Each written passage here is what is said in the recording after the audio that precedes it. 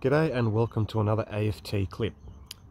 Now in this video I'm going to show you a little trick um, regarding squid jigs. Now the reason why I'm showing you these is just to give you a quick rundown of what sort of lures we use to catch squid such as these size 3.5 Yamashita jigs and also these um, squid spikes that if you're using pilchards, whiting and yellowtail you can use these. But with these they're 25 bucks each and you know, it's, it's heartbreaking when you get one snagged and you lose one or two or three squid jigs where each one costs 25 plus.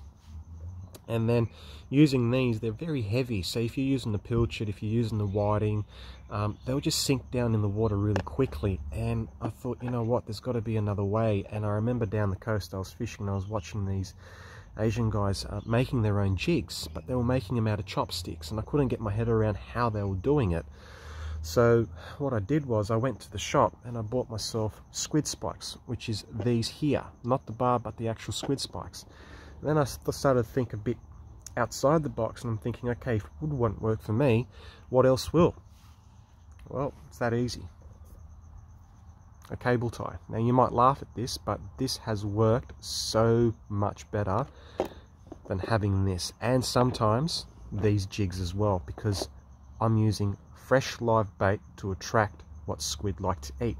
As the saying goes, match the hatch, catch the catch. So uh, with these, with this new squid jig that I have made, all you need to do, and if you can see, I've pierced through a little hole. I know you can see it, and I get one of these swivel clips, and I just put it through put it through you can make the hole a bit bigger. I haven't made it on this one but once I start making a bit more I'll make sure that you know all these holes are a bit bigger. And then once once I get it in here we go. This is very light very strong little jig. It looks so cheap people if they were looking at this they'll be like what the hell is this guy doing? But I'm telling you right now making my own jig has caught me so much fish. So before you put the clip on you get yourself a whiting you get yourself a yellowtail and you use this jig to pierce through the fish to make a hole right through the fish. Because if you go with the cable ties, see how it bends? You're never going to get it through. So if you pierce it with this, you'll get the cable tie through the fish a lot quicker and easier.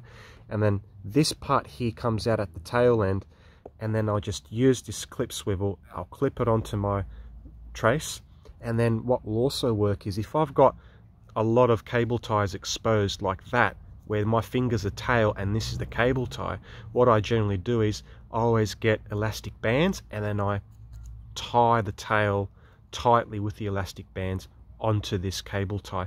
And I wished I had a specimen to show you how this effectively works. And I will make a video once these lockdowns end.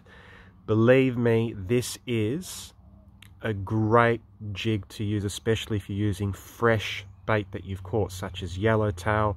Uh, trumpeter whiting's also great.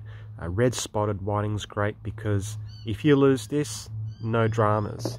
If you use this, well, it won't bother you, but you've lost something that's that could be of an asset to you, especially if you're making these jigs out of cable ties.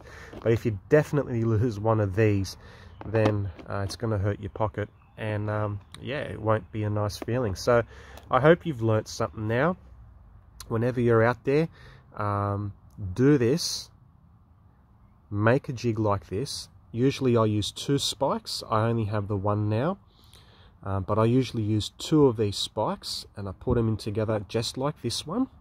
And then I put my fish through all the way so the nose of it comes to the spike.